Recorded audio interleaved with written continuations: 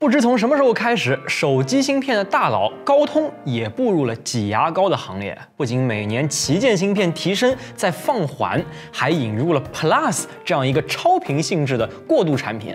那今年的八六五毫不意外也推出了 Plus 版。八六五 Plus 把最大那个大核从二点八四 G 超频到了三点一 G，其他核心还是原来的频率，而 GPU 部分则是从五百八十七兆超频到了六百七十兆。经过这样一番操作，这八六五 Plus 会是什么性能呢？这点提升到底能不能在游戏中感知出来呢？我们从 ROG 那里嫖来了一台 ROG Phone 三代，今天不妨就来测试一下，看看吧。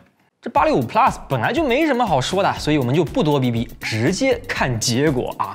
先说 CPU。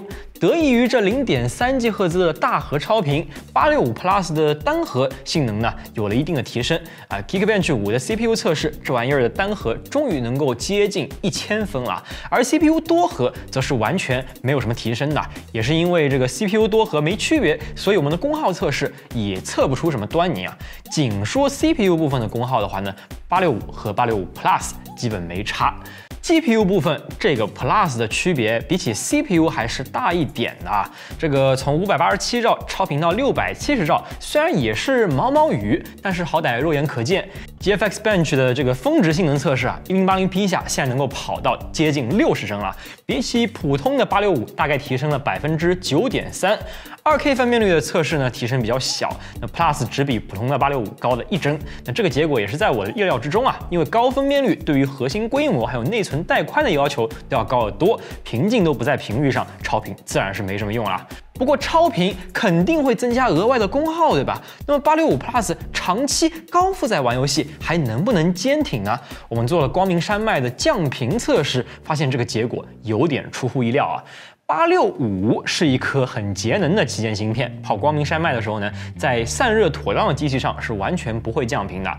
然而，ROG Phone 三上的这一颗八六五 Plus 居然跑着跑着帧数就蹭蹭蹭往下掉啊，掉到最后和去年的这个八五五 Plus 比起来，可能都不一定比得过啊。我把 GPU 的频率调出来看了一下，这个六百七十兆的高频只维持了四分钟，就会慢慢降低到四百九十兆。啊，这个频率比八六五墨屏的五百八十七兆还要低了很多啊！感到诧异的同时，我就想到，会不会是因为我没有开启极限性能模式呢？因为最高档位的性能模式需要插风扇才能够开启，所以我又插上了风扇，开启最高性能，再测试了一遍啊！结果发现降频居然降得更快了，哇，完全不可理喻啊！那我又一想，会不会是它超频超得太狠了，导致过热了呢？哎，我去看了一眼这个 CPU 温度啊，哎，可是这温度一点也不高啊，CPU 核心才五十二度啊，比有些手机表面温度都低了。那结合我自己的体感感受啊，ROG 三的这个散热可能做的是比去年 ROG 二还要好一点呢。那会不会是因为功耗强的原因呢？也不是。因为这颗 GPU 就算超完屏，耗电量也没有太爆炸。我们实测峰值游戏功耗和去年的八五五 Plus 是完全一样的，并没有任何额外的压力。那既然温度和功耗这台机器都没有翻车，那为什么它还会降频呢？这太奇怪了。带着这个疑问，我又进行了游戏实测，跑了一下《崩坏三》，发现这个情况还是真是特有意思啊！这一颗八六五 Plus 玩《崩坏三》，最后跑下来的成绩呢，也不如八六五。它的 GPU 频率一样跑不满六百七十兆，而且它不是什么慢慢降频的，它是一上来就只有四百九十兆啊！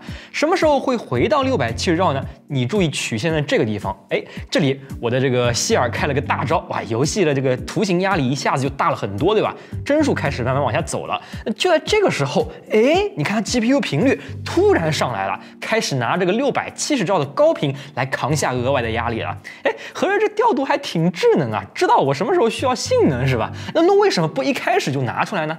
要知道我现在开的可是最高性能模式啊，还要求挂风扇的啊。要是省电模式这样调度，那我觉得够牛逼，够智能。可是高性能模式不就应该全程满血吗？哎，对于这样的电源调度策略，我刚测完的时候真的是简直是一脸懵逼啊！但是后来我冷静的想了想啊，我大概能够理解 ROG 的想法了，因为这个手机。它是和腾讯合作开发的，而腾讯的手游，比如吃鸡之类的，在八六五 Plus 上都是能全程跑满帧的，偶尔才可能卡顿个一两下。那吃鸡这类游戏里面，用这么保守的智能调度策略，反而可以在性能不受影响的同时减少发热啊，发挥可能还会更稳定一点，倒也不是一个坏的选择吧。而且可能游戏续航还会再长一点，对吧？只是我觉得这个选择权啊，最好还是交给玩家。啊，或者呢，不同的游戏用不同的策略，这样会比较好吧？不然，如果不是腾讯的游戏，又特别吃性能，这样的策略反而就成负优化了。鉴于 ROG Phone 三代这么特殊的一个电源策略，我认为现阶段我们还不能把这一颗八六五 Plus 的成绩放进 SOC PK 的排行榜里。不过八六五 Plus 这个 U 呢，我们还是可以下一些定论的。这个八六五 Plus 嘛，就是一个超了屏的八六五，对吧？它的这个超频后的功耗和温度倒是没有增高太多。我认为之前能够压住八六五的机器，现在换成这颗八六五 Plus 都是能够压住的。但是相应的呢，性能也没提高多少。真正大的提升，还是要等接下来的八七五啊。再说回 ROG Phone 三这台机器本身嘛。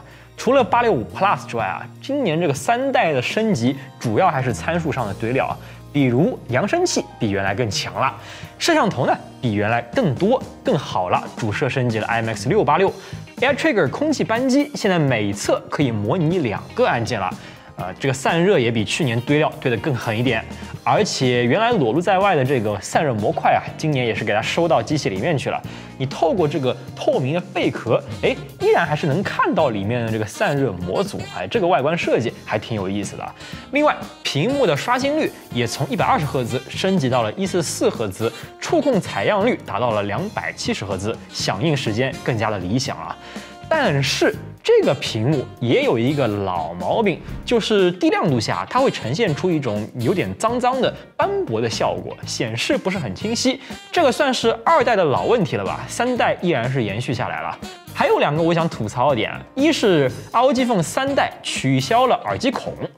本来的 ROG Phone 机身上是有一个耳机孔的，现在你必须插风扇模块才能使用3.5毫米耳机，或者插转接口才能使用这个耳机。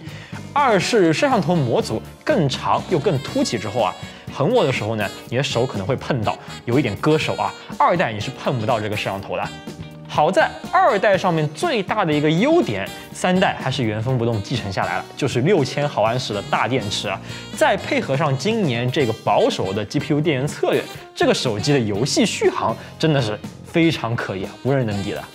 总的来说，这一次 ROG Phone 三是一台很有针对性的游戏手机。如果你是一个重度吃鸡玩家，那这个机器确实很适合你啊。但是首先呢，八六五 Plus 的性能提升有限；其次，它这个电源管理策略啊，对于一些高压力的其他游戏用户有点不友好啊。我认为还有一些优化的空间啊。